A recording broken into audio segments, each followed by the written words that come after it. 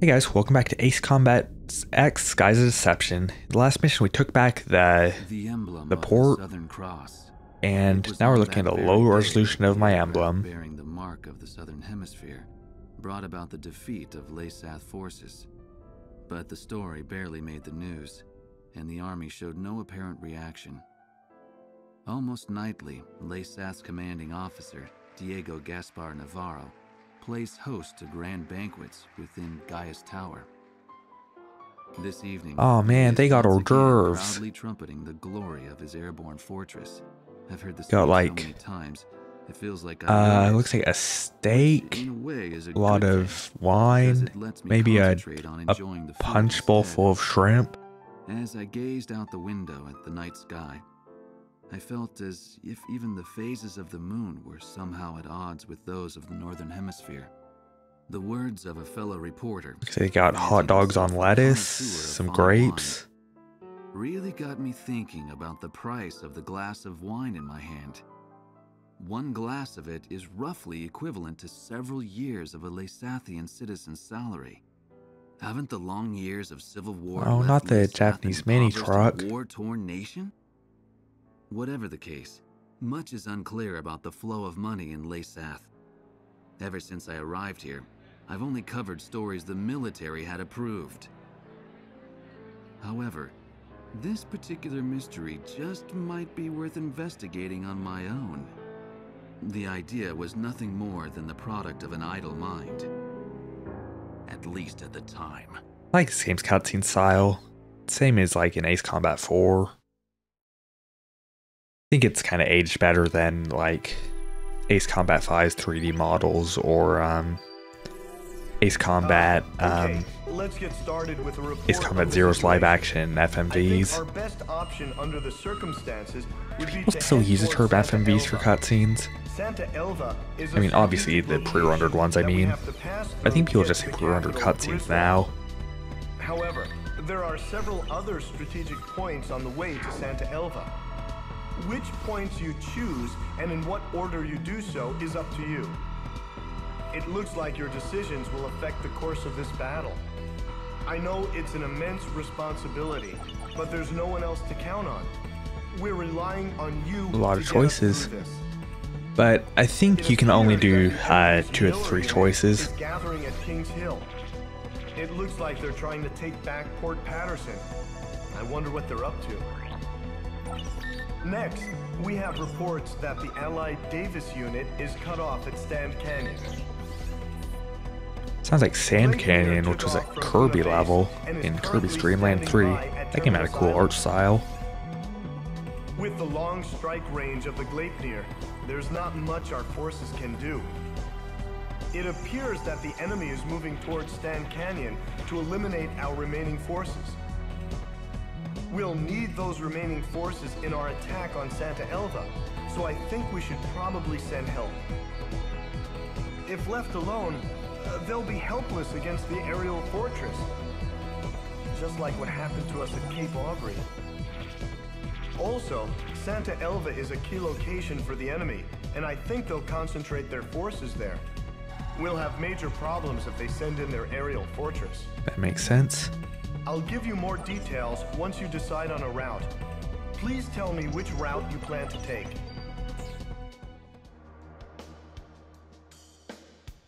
Alrighty. I think since we can only do two missions, I'll do one that I have played and one that I haven't. So let's do Rolling Thunder first in Stand Canyon. Hopefully I won't get hit by an arrow. ground forces are stranded at Stand Canyon. They are members of the Davis unit who were en route to an assault on Santa Elva when they were cut off from the main force. The Santa Elva offensive could use their support, and we can hardly leave them for dead. However, Leasath has already begun mobilizing a search and destroy operation. It's only a matter of time before the Davis unit is wiped out. I think we should launch a strike now and save as many of our troops as we can. Although the area of attack is within range of Gleipnir's SWBM, the very same weapon that devastated our squadron. by implementing shielding and flying low through the canyon. It should be possible to avoid an attack by the SWBM. Sounds good. In the event that Gleipnir should attack, stay below the rim of the canyon, or less than 2,400 feet. So it's pretty much like Stonehenge. I can work with that. And I know I unlocked new aircraft last mission. What did I get? Oh no, wait, these are the ones I already own. Wait, no, no, they are not. Wait, what? No, no. Oh, it's just showing planes I already have, so... I unlocked the MiG-21. I don't think I really want to buy that. Let's see. Anything else? I don't think so. No, no, I don't want to buy an F-117. Damn it. Alrighty, so I'll stick with my F1 with its... Let's try the RCLs. I don't know how good the RCLs are because I never really use them in, except for like Ace Combat 6. They were very good in that game, but they seem kind of wimpy and when I've tried them in the other ones.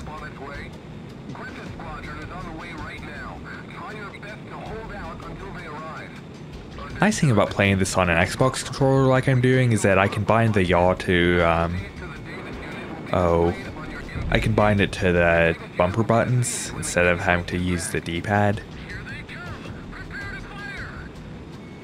Which means I don't have to move my thumb when I need to do that. Alright, let's try the RCLs on this launcher. That missed so goddamn badly.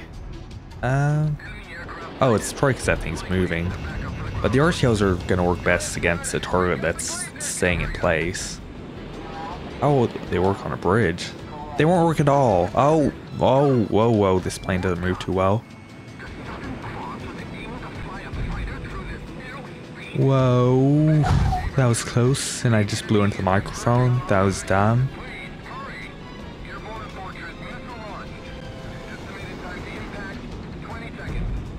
Shit.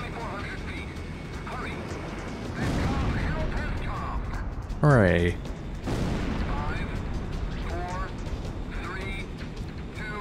Shoot, allies are taking losses. Oh, and you get a lot of screen shaking with uh, SWBMs, so try not to let yourselves get disoriented by that.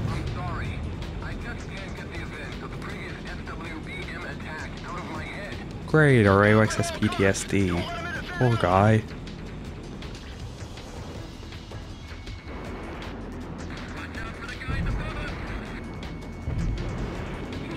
Missiles reload pretty quickly in this one.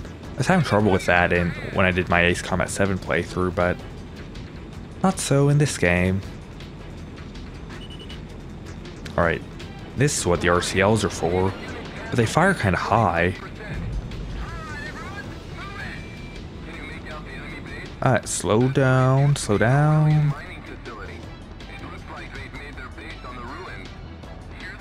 Okay, here's some things I can attack. But I'm not doing too well on this mission so far. Haven't really been taking care of the threats to the ground forces.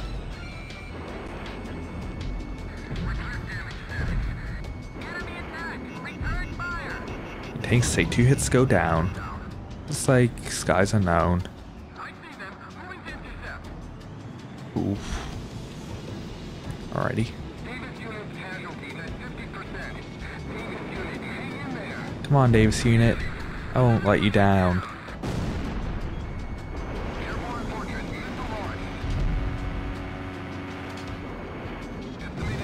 Okay, just an AA gun. It's not a big deal.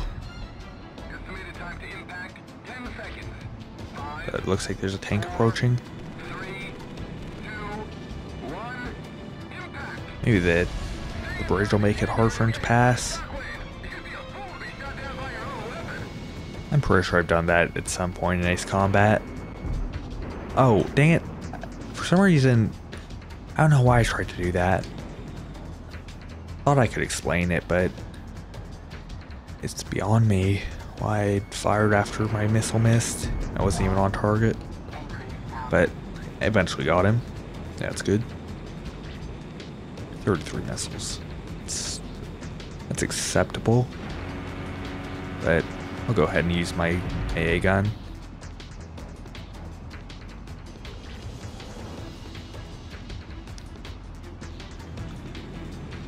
Alright, I'll fly over the mountains. Then slow down a bit. Jesus.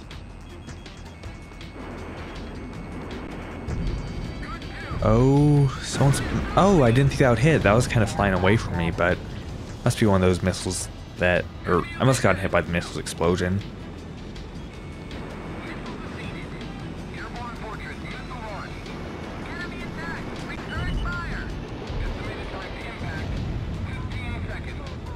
Alright, I want to stay nice and low.